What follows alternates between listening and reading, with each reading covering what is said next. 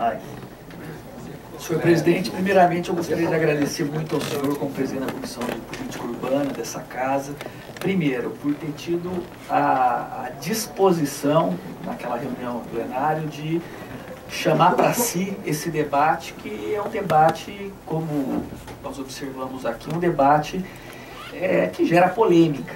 Né? E todo debate que gera polêmica, muitas vezes, é, não é qualquer presidente de comissão que, que chama como o senhor teve a, a, essa disposição de chamar e fez uma reunião, conduziu essa reunião de uma maneira extremamente democrática, dando oportunidade para todos de colocarem suas opiniões, de colocarem suas observações. Queria agradecer ao secretário também, agradecer ao Alexandre e dizer rapidamente, senhor secretário, que é, é difícil hoje, principalmente no, no, no, setor público, nós é, temos inovações profundas da maneira de gerir, é, da maneira até da, da, de gestão da coisa pública. Né?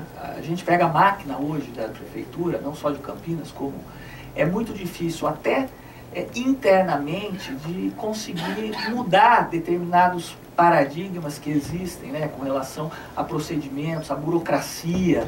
Né? Nós temos aí hoje, por exemplo, só para não, não me alongar, é, uma lei de uso e ocupação do solo de 88. Né? O prefeito Jonas Donizete já podia ter encaminhado essa lei para a Câmara, não mandou várias questões aí estão no meio do caminho. Né? Então, da, da, forma como também existe uma certa restrição por parte da população inovar, existe também uma restrição por parte do, do próprio chefe do executivo de é, é, é, tirar da sua mão esse poder de controle né, de, de, de, certas coisas. E eu queria dizer, secretário, que eu sempre admirei o, o seu trabalho e que a gente, por conta disso, a gente tem o maior respeito pelo senhor, pela sua equipe. Inclusive eu tenho amigos meus na sua equipe que eu considero há muito tempo, né, desde a infância, a gente tem o maior respeito é, por todos eles. Mas eu sou um vereador na cidade de Campinas e fui um vereador eleito com uma votação significativa exatamente nesses bairros onde é, se implantou inicialmente a coleta. Né, principalmente nesses bairros onde se implantou a coleta. E eu tenho recebido muitas crítica, secretário. Não tem como eu esconder isso do senhor, é, da sua equipe. E não cabe a mim trazer soluções, porque eu não sou técnico. Cabe a mim trazer aquilo que a população é, é, me deu como responsabilidade, que era ser, absorver essas críticas e levar para o poder público. Se eu fosse técnico, é, obviamente é, eu estaria discutindo de uma maneira técnica com o senhor. Eu não estou discutindo, eu estou trazendo aqui os problemas que a população traz. Então, é difícil inovar? É difícil. Mas nós temos que inovar também, secretário. Agora o senhor me desculpe eu falar isso ao senhor, ao Alexandre. Espero que o senhor receba de uma forma, eu estou dizendo uma forma humilde, simples, mas espero que o senhor receba também. Nós, nós somos é, inovar com planejamento. Né?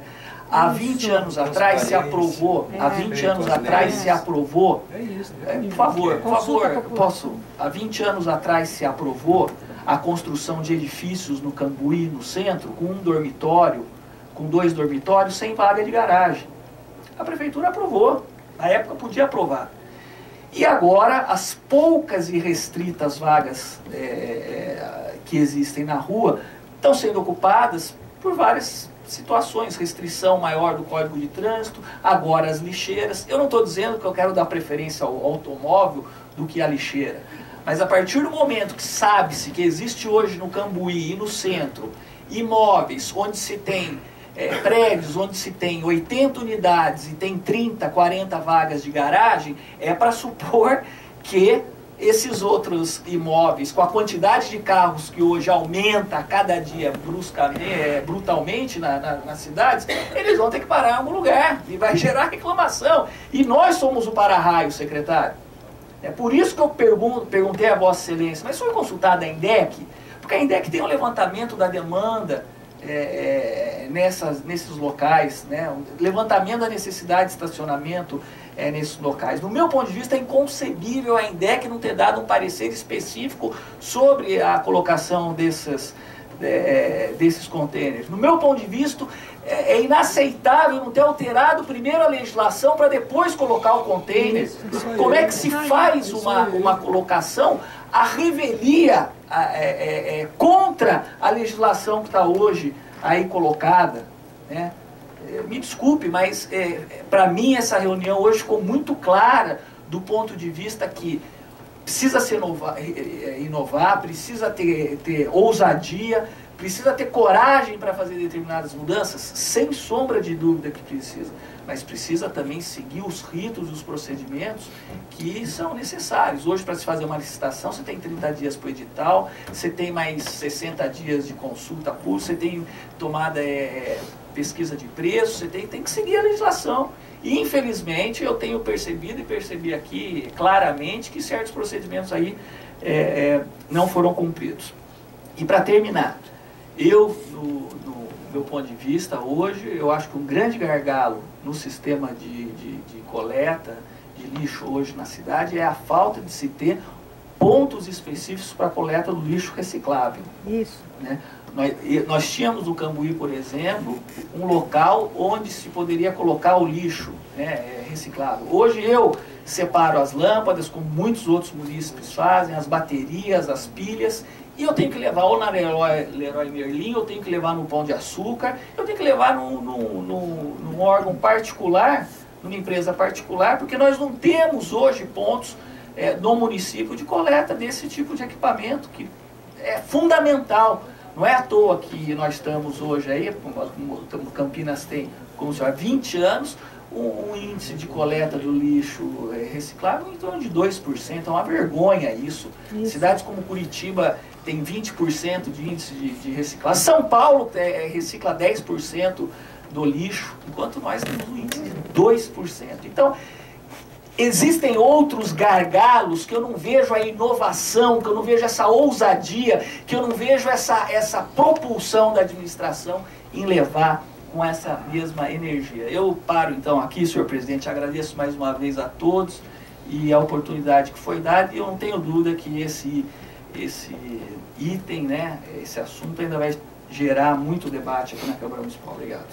Obrigado, vereador Arthur. Eu só queria dizer o seguinte, quando o secretário disse que vem virar esse projeto para a Câmara, nós vamos ter outros debates com esse mesmo assunto.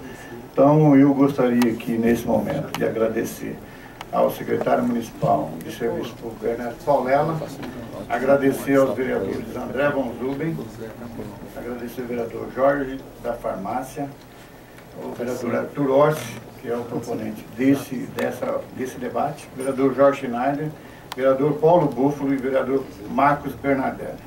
Quero agradecer também aqui a presença e a participação do senhor Filipe de Albuquerque, o Celso Ribeiro de Almeida, a Maria Cabral, ao Ernesto, que foi muito solícito em aceitar nosso convite, o Alexandre Gonçalves, que é diretor do Departamento de Limpeza Urbana, a Márcia Calamari, engenheira e assessora da Secretaria, a Derval Fernandes, que também é diretor da Secretaria, Eduardo Camargo, gerente do consórcio Renova, o Wagner Vieira, da Renova, o Marcos José, supervisor de limpeza, o Emanuel, é, supervisor do Departamento de Limpeza Urbana de Campinas, o José Geraldo, engenheiro, o Carlos Alexandre, presidente do Condemo, que muito nos ajudou aí na explanação, e agradecer também ao Renato, que tem sempre contribuído e é um lutador incansável dessa desse projeto que eu acho que só vem enriquecer o debate, certo? E quero dizer para vocês, agradeço a presença de todos aqui nesse plenário, é,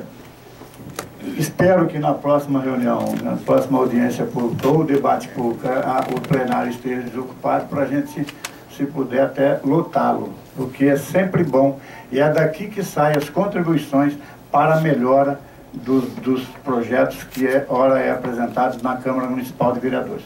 Eu termino essa, esse debate público às 11 horas e 53 minutos. Obrigado a todos.